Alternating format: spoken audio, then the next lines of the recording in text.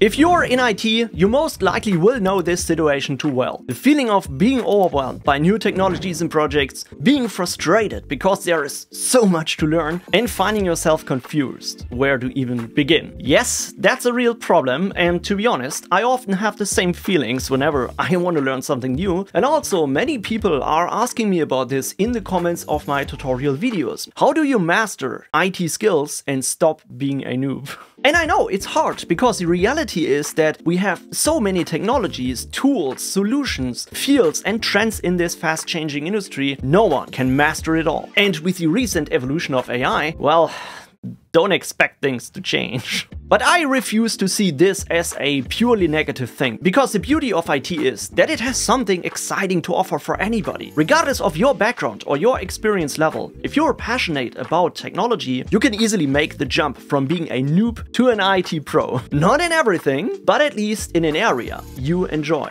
And as I've been working in the IT industry for over 12 years now, believe me, I've experienced some of the same struggles and challenges like you, but I found out some secret strategies that I've collected over these years, and they always help me to learn and achieve new skills fast and efficiently. Today, I'd like to share some of them with you, so you can enjoy learning new stuff in IT, make consistent learning progress, and find your way through this jungle of technologies. let's get started. Okay, so let's start with the first tip I have for you to really master your IT skills. And this is, if you would like to make consistent learning progress, you have to choose a main field and stick with it. Something you enjoy and where you like to specialize in. And these can be all sorts of fields we have in IT. It doesn't necessarily have to be a specific role. So I would choose something broader like programming or system administration, cybersecurity, networking, or maybe support and project management. Yeah, whatever you think you'd like to learn more about. And let me tell you why this is so important. So when I started to work in IT, I was hired as an IT service technician. And uh, like I've worked for small and medium-sized companies and doing all sorts of support tasks, yeah. Installing and deploying new servers, creating users and permissions in Active Directory, but also setting up networks and firewalls, installing Outlook on Workstation, fixing problems with printers, which I absolutely hated the most. And I really learned a lot. But the point is, these topics were so all over the place that I never really got to an advanced level in them. And for me, it became really frustrating at some point. So that's why I decided for myself to make a career change and specialize in a certain field to really master it. Note, your decision does not have to be carved in stone, of course, yeah? So you can always like mix and switch between these fields from time to time, like if you find out, well, I'm not so good at programming, yeah, perhaps I'd like to switch into the cybersecurity field, sure, no problem. Uh, but it is still important for your learning progress that you find out what is your main interest and stay in that field for a while. That's definitely helping you to make the best progress and you are naturally learning technologies that always complement each other. Okay, so once you know the field you're interested in, for making a consistent learning progress, you have to set yourself a goal. And this is the second tip to really master IT skills. And what you define as your goal should always meet your current expertise. Like if you're a complete beginner and you want to land your first job in IT, don't set your goal as to become a pentester or a DevOps engineer. This is just too much. I often see this, by the way, in cybersecurity, especially hacking, because this is such a cool job, right? Everybody wants to be a hacker. And yeah, perhaps this is your dream, but it is not a good strategy to set this as your first goal. So instead, if you're a complete beginner and you pick the field of cybersecurity, better start with something small, like learning the fundamentals of operating systems, yeah, Linux, Windows, or maybe networking fundamentals. Try to learn more about TCP, IP protocol, routing, switching.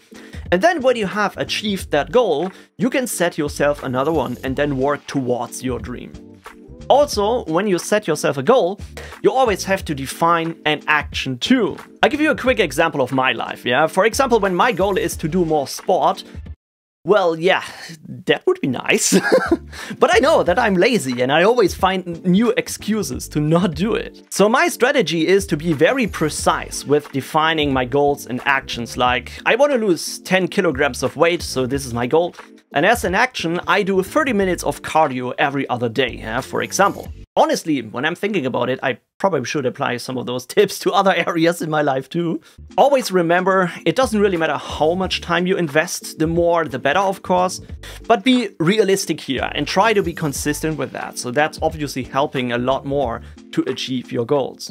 Okay, so enough of the theoretical stuff here, let's come to the fun part. And one of my absolute favorite tips to master IT skills is you have to get some hands-on experience. I've seen so many people who want to get into IT or land a certain job and they got all sorts of certifications like the A Plus certification, Google IT Support Professional, Network Plus, LPIC 1, but still can't find a job. Why? Because those certifications say nothing about your real abilities or about your expertise. To really master any field or skill in IT, you have to have some hands-on experience. It's more important than anything else. But don't get me wrong, I'm not saying that IT certifications and courses are not valuable and could not be a great source to learn new skills, but without any practical experience, they're just theoretical knowledge. That's why I invest so much time, effort, and also money in my home lab. Not because I want to self-host everything or set up a private cloud. No, it's a virtual playground for me to challenge myself and learn and apply new skills. I'm constantly building new stuff, breaking things, fixing problems and repeating that over and over again. Honestly, I think many people underestimate this power we have in IT because not every job offers you this opportunity to get real experience with a hobby project at home. I mean, of course, you, there are things that you can't really get experience with, like setting up millions of clients with automation or setting up a powerful SAN storage for a hypervisor cluster. Sure, yeah, but most of the fundamental knowledge that really matters in IT that can still be achieved in a home lab, maybe just at a smaller scale. So don't wait with this, yeah? Start building your home lab as early as possible and trust me, it will skyrocket your abilities and IT skills. Tip 4. When you start a home lab and you would like to master IT skills, it is important to identify the right skills and projects you should invest your time in because you will face many distractions here and there which aren't really helping you to achieve your goals. What do I mean by that? Well, let me give you an example. Like if your goal is to become a junior Linux sysadmin, for example, so just try to search for Linux content online. Just do that. Of course, you will most likely find some really good stuff here, such as courses and trainings, tutorials and guides, but you will also find a lot of fluff, like what is the best Linux distribution for beginners, or the best Linux distro of 2024, or maybe on YouTube you will find videos about free and open source privacy stuff, or the best OS that you never use, or look at this here, don't use Linux, just use Windows. No offense here, yeah? I'm not saying that this content is a complete waste of time or it's useless to talk about that. But if your goal is to actually learn Linux and get into professional IT, yes, it is useless. this is really, really important to understand for beginners. It doesn't necessarily help you if you know how to install Arch Linux or if you're the best hacker and use Linux as the desktop OS. Honestly, don't care too much about this distracting online content because this is more entertainment than valuable educational stuff. If you really would like to master a technical topic and quickly achieve your goals, look at what IT professionals have to learn about it, yeah? A good resource is always certification-based training, like for Linux, the LPIC 1 or LPIC 2 certifications, or for DevOps, the Azure certifications. But also educational tutorial videos such as I do here on my channel most of the time. You can of course watch or you can buy books about those technical topics. You can read blog posts, you have so many places to go. You can even use AI to learn and understand certain topics or find out what's important to know in your field. The beauty in IT is we have so much of this available and accessible for free, so the content is already there. But you have to do a good research on what is relevant in your specific field of the industry and what are just distractions or entertainment content. Next tip, and this is one of the real secrets that had a huge impact on me mastering my skills, because when I started to specialize in network security a couple of years ago and I was researching the right technologies and skills, doing some testing projects at home and so on, I found out that I somehow need to keep track of everything that I'm learning and also review some of those projects. Because in IT, there is so much you have to learn and you will most likely forget about stuff and that is why you should start building yourself a knowledge base or a form of documentation for your learning progress. And really try to do that as early as possible. For example, I'm maintaining a GitHub repository called Cheat Sheets, and this is where I'm writing down any code snippets I found, some technical documentation and command reference for all sorts of tools and technologies that I'm learning. So everything from application specific knowledge over to cloud technologies, Docker, Linux, security related stuff, I'm always trying to write down everything that I'm learning. Sometimes this is just a one-liner about a certain problem that I've solved or a table with some useful commands that I need to remember. This is so incredibly helpful, especially to keep that stuff in your brain and remember it the next time.